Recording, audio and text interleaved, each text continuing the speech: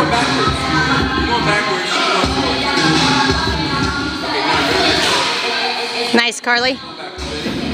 Use your knees. Bring those knees all the way up to your chest.